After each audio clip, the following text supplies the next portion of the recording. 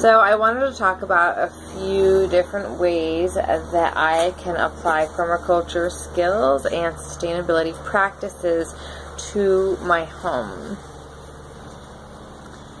The first thing that I have in mind is I want to make a solar oven. A solar oven um, is a little makeshift oven that I can construct out of reusable and repurposed items to cook my food and not use energy and heat and gas and heat up my house here in Phoenix in the middle of the summer. I will need the following items, repurposed wood, glue, repurposed window glass, tinfoil, tape, and nails. Then I will make a box out of the repurposed wood and line the inside with tinfoil. I will fill the glass I will fit the glass piece so that it fits snugly over the top, over um, the box that I construct, and then I'll be able to remove that glass and whatnot um, to put the food in the oven. And I will fashion a type of um, top lined with tin foil, you know, like those, I'm thinking kind of like those old things that kind of look like this and the ladies used to use um, to get a tan. Well, I'd kind of use that and place that on top of the box so that the sun can come down, hit the hit that right there, and then that sun rays and heat will shoot through the window pane and heat up the food. By using the resources nature nature provides me, I will be able to feed my family. I will use this oven to cook various meals and items while the sun is out. And in Phoenix, we have tons of sun. I will not only be reducing my carbon footprint, but I will save a ton of money on my energy bill, and I will not use the stove or oven to cook with. And as the second principle in permaculture says, by developing systems that collect resources when they are abundant, we can use them in times of need. Hence, I'm utilizing the heat and rays of the sun to cook my food.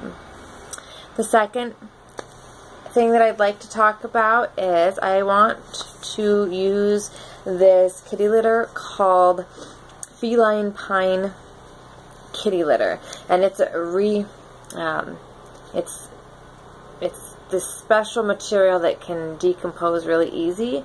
So what I'll do is I'll take my kitty litter and I will put it into the garden. Instead of wasting all the precious cat poo, I will compost it into the garden and help build a healthier soil by providing added by providing added nutrients and organic matter to the soil. I will let nature take its course and at the same time create a regenerative soil for my garden. Waste not, want not.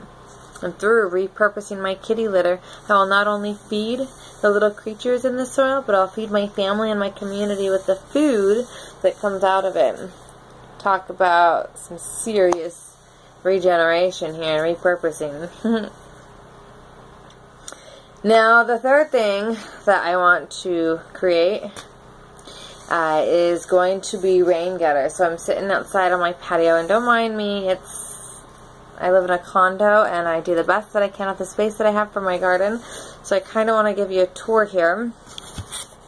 But I'm going to create a way to store and use the runoff water from the gutters and allowing my awning to support those gutters and collect the rainwater from the roof. So, here's my little garden. I've kind of left along the east side this year. Way over there by the sugarcane and loofah because it's just, it's insane. But anyways, what I'd like to do you see there's the roof. See there's a gutter over there. I'd kind of like to do what she's doing. And I'd like to put a gutter on top and have it come down to here, to this awning.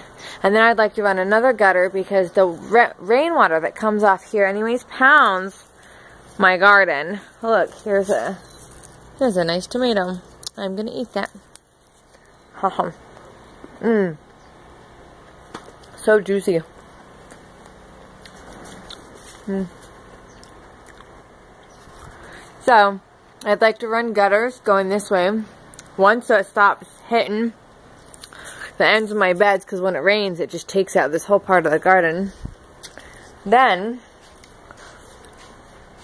over here, so here's the east side, there's the west side. So over here, right now I have this compost pile that I've been putting garden mulch in, but I'd have the like little vents come down here and have bins or storage tanks right here to collect the water.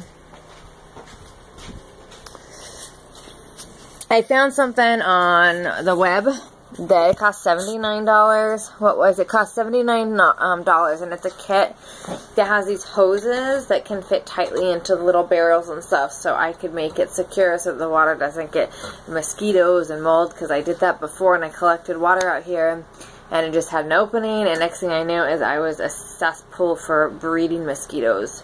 Not cool. Um,